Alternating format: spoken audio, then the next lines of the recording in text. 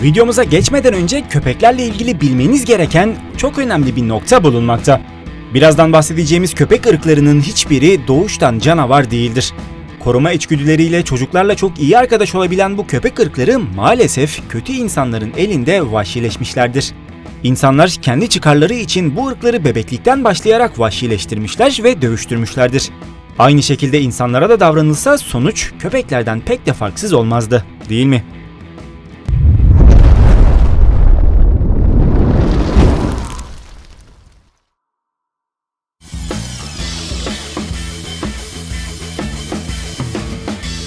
Ürkütücü görüntüsünün aksine barışçıl bir ırk olan Napolitan Mastifler, horlayan, salya döken ve tüy dökme sorunu yaşayan bir köpek ırkıdır. Tüm bu özelliklerinden dolayı Mastif'in apartman yerine bahçeli ve açık alanlarda beslenmesi daha iyi bir seçenek olacaktır.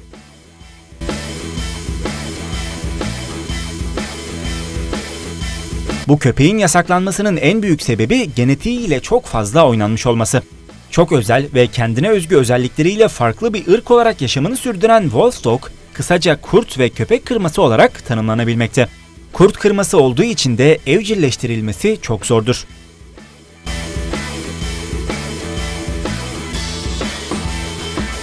Japon dövüşçüsü olarak bilinen Japon Tosu Ino'lar oldukça iri bir ırktır. Henüz 6 aylıkken bile kiloları 60 civarını bulabilmekte.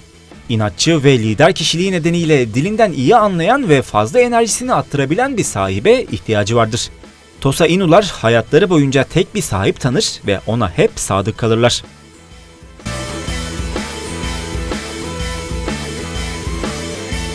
Danimarka ve Singapur dahil olmak üzere pek çok ülkede yasaklanan Amerikan buldoglar aslında ailesiyle son derece uyumlu köpeklerdir.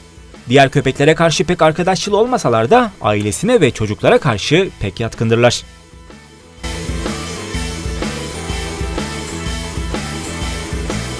Bendox'a birçok ülkede dövüş köpeği olarak kullanıldığından dolayı yasaklanmış köpek ırkları arasında.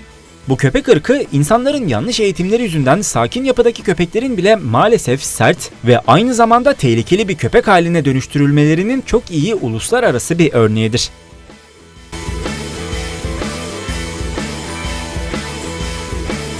Kökeninin M.Ö. 6. yüzyıla kadar dayandığı bilinen Brezilya mastifleri en eski köpek ırklarından bir tanesi. Roma döneminde askerler tarafından kullanılan ve özellikle çeşitli gladyatör eğlencelerinde yer verilen mastifler günümüze kadar ehlileştirilmişler ve eski saldırgan yapılarından vazgeçirilmişlerdir.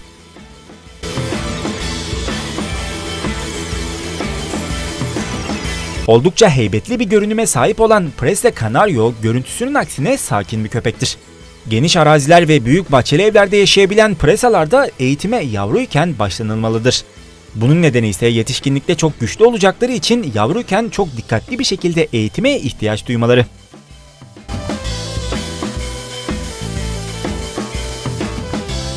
Kendilerini sürekli yavru olarak düşünen Dogo Argentinolar, koca, kaslı cüsseli ve minnacık bir yavru gibi kucağa zıplamaya bayılırlar. Ailelerine aşırı derece bağlı olan bu köpek ırkının çocuklarla da araları iyi sayılır. Akıllı bir ırk olmalarının yanında çok da inatçı olan dogoların eğitimine bu yüzden erken başlanılmalıdır.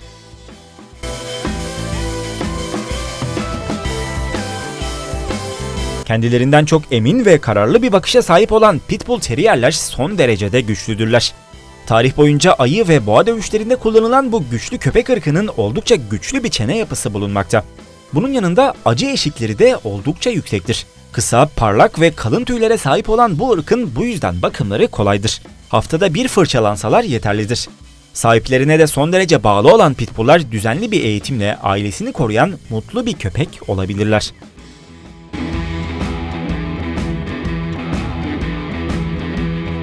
Kökeni Güney Afrika'ya dayanan Borbel'in asıl üretim amacı o bölgede yaşayan insanların evlerini aslanlara ve leoparlara karşı korumaktır.